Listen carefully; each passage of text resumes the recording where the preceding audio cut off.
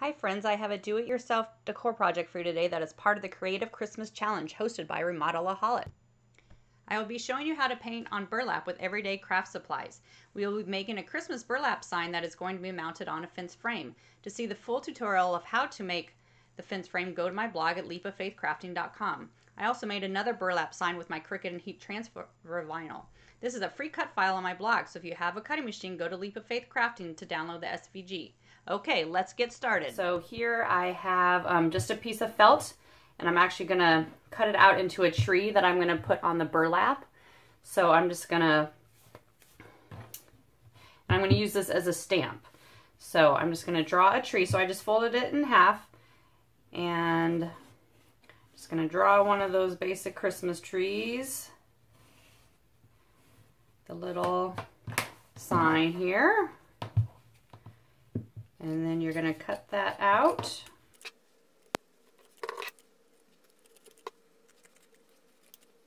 You have a tree. And so to use it as a stamp, I want to make it a little bit thicker. So I'm going to actually put some Mod Podge all over it and let it dry. So I'm just going to stick brush in there and you're just going to Put Mod Podge all over. You could use it just like this, but it's a little bit flimsy, so a little bit harder to work with. Um, so I just like to make it a little bit thicker. This is an optional step. Um, but you're just going to put, cover the whole thing in Mod. Okay, so this is the one I had already done, and you see how it's quite a bit thicker now? So I tried it on the back already, so that's why there's green paint on there. So I'm going to use this as a stamp. Other things that I'm going to use are just, I'm going to make some foam stamps. So I have this piece of foam paper here, um, or you can get a whole pack of foam sheets at, this is from the Dollar Tree. You can make a bunch with that. So I wanted to write ho ho ho on the top of mine. So what I'm going to do is actually just cut cut a thin line to make H's with. Get a little bit thinner. And you can make this however you want. so I got an H here, and I'm going to make it about three inches big. So about this big. And so what I'm going to do is I'm actually going to layer these two just to make it a little bit thicker. So I'm gonna have two on top of each other and I'm just gonna use a glue stick just so it gives it a little bit more of elevation so it doesn't stick the what I'm gonna put it on. So I'm just gonna glue it on top of there and cut an H. I mean, cut that. So I have one side of an H. So I can use this for both sides. So the only other thing I need is the middle one. So again, I'm just going to kind of see how much I want. I'm going to cut it off. Again, glue it on. And cut that side. Okay, so that will be the H, and then I'll just use this again on the other side. So I'm just going to put them on backs of things I have. I have this clothespin that actually will work perfect. So I'm going to just glue this on here. You can also use a hot glue gun.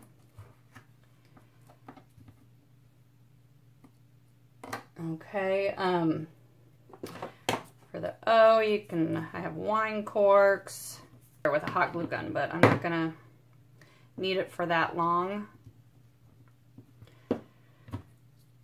Okay, and then for the O, I'm just gonna grab this and you can use anything. I wanted about three inches. So I'm just gonna use just the top of this paint jar here. So I'm just going to draw a circle around it.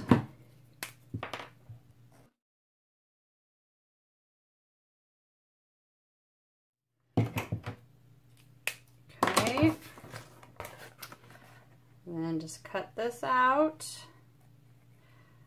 Or if you had a really large punch out stamp, you could use that for a circle.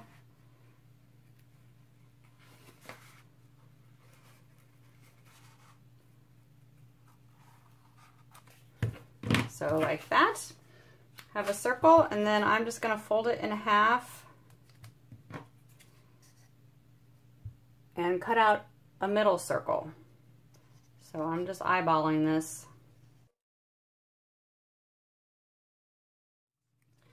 Take a little bit off this side. And if you have a smaller um, jar cap, paint jar, anything like that, you can also put that in the middle and make a circle out of that.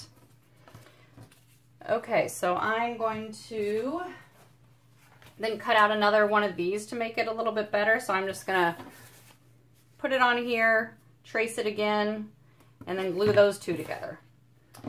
So I had already made one right here and I put it on the back. I have some of these for stamping that it's um, just a glass block to stick it down on so that when you press down, it needs to have even pressure all the way around it.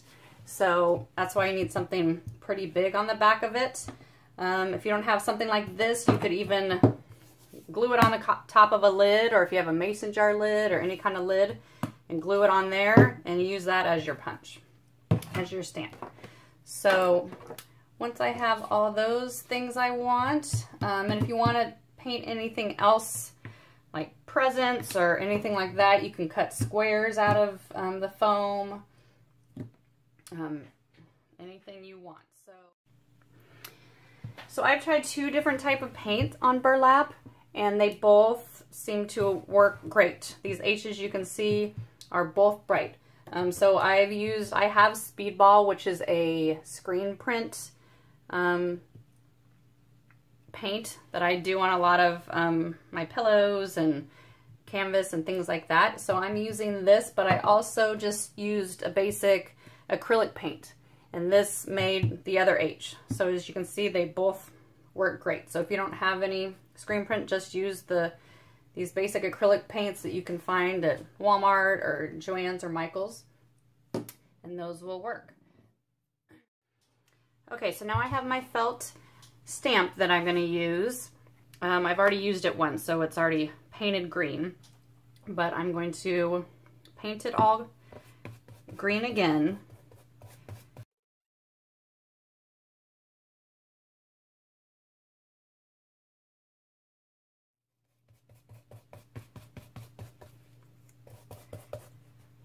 So again, I'm using this speedball paint, but any paint would work, chalk paint or acrylic paint. All right, anything that you have. Okay, and then for bottom, I'm just gonna put this little brown paint I have on it. Okay, so I painted on there because obviously it makes a big mess. So I'm going to move that out of the way. And then I'm going to put my tree down on my burlap.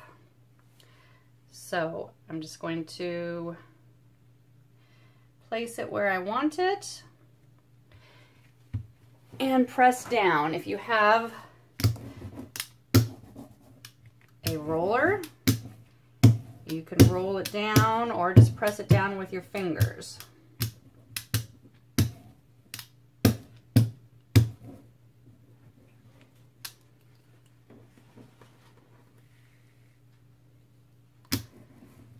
Okay.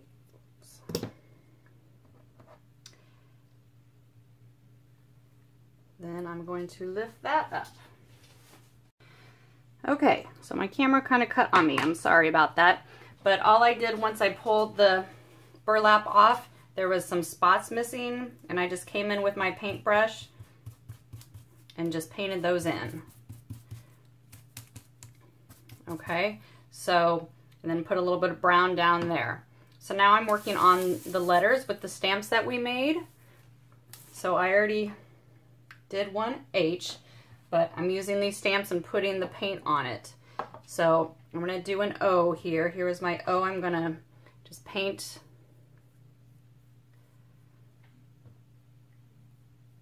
the whole top of this. And I had black under there, so it might come out a funny color, but I decided I wanted to put polka dots inside my O's, so I wanted them both the same color because I didn't really like the black. I did paint it black once and I painted it white once and I didn't really like that look. So then I'm just gonna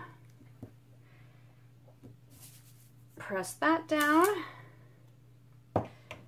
And we have one. So then I'm going to do another hoe. So it says ho ho ho. So I'm painting the foam that's on top of the clothespin. I'm going to put that up here.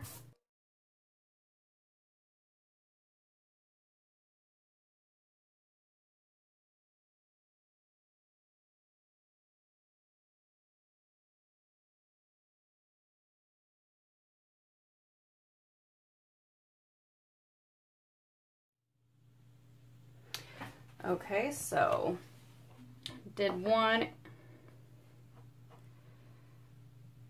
H, do the middle,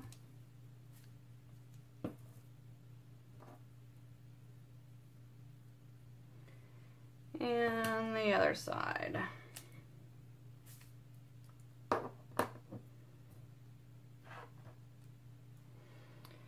And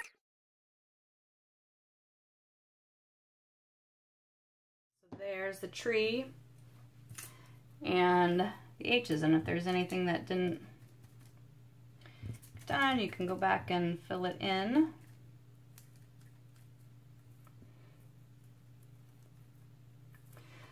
Okay, so I'm going to let this dry for a little bit and then I will be back to and put some dots on the ho ho ho and I'm going to decorate the tree. Okay, so now I'm back um, everything has dried. It's been overnight. So now I'm just going to decorate um, the tree um, and whatever else I feel like decorating. So you can do whatever you want. You can leave it plain like this.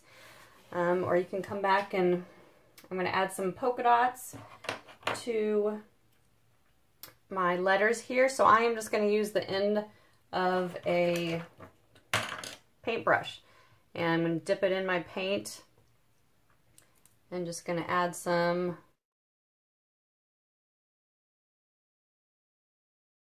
stripes on another one.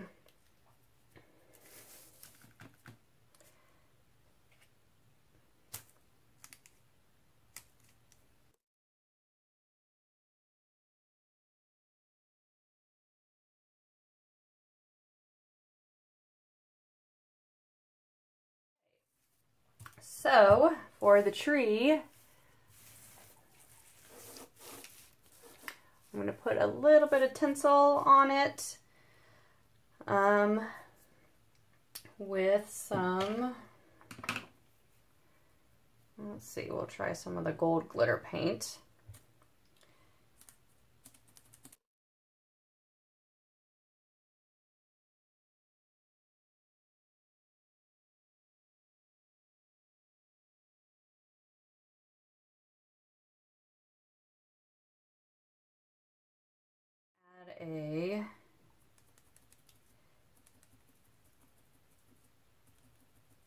Kind of a star at the top.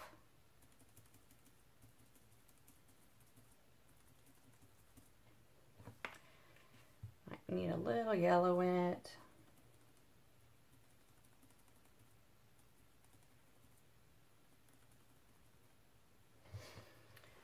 Okay. And then for some ornaments on the tree. I'm just going to use some circles that I have. I have different um, sponge blotters or paintbrushes that are round. that I can use, or you can use, um, like we made the foam stamps for that, you can cut out little foam for that. Also have these little blotters too that are good for um, a little paint. We'll go up a little bit. So I'm just going to start blotting in some paint. And this is a glitter acrylic paint, so it's not really going to show up very well until it dries. I'm just going to put a few dots on there, and then I can go back with a paintbrush and fill it in.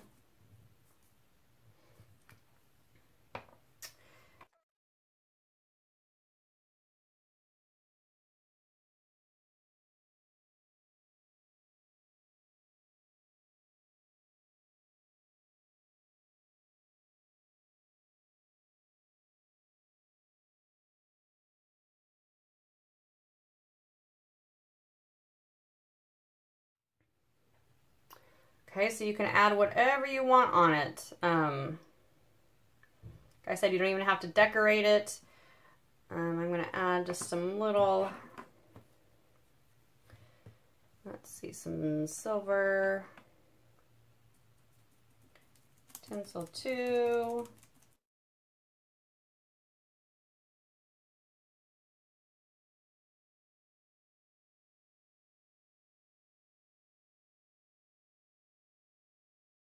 So that's about what I'm going to do for it. I'm just going to let it dry and then we should be done. So like I said, lots of different ways to add some color and just some little decorations without having a Cricut or any kind of cutting machine. You can do it all with just things you have at home. Um, you can have your kids paint on burlap if you want to get a couple of them up there, or you can all do it together and have fun with it. So I hope you enjoyed the video and um, hope to see your creation soon. Again, a big thank you to Remodelaholic for hosting this challenge and make sure you click the card to watch the Creative Christmas playlist.